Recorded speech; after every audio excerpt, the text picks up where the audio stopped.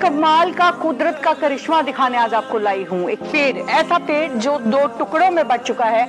आधा ऊपर है, आधा नीचे है और बीच में सिर्फ़ हवा है। जी हाँ हवा में लहराता हुआ ये पेड़ कहाँ है?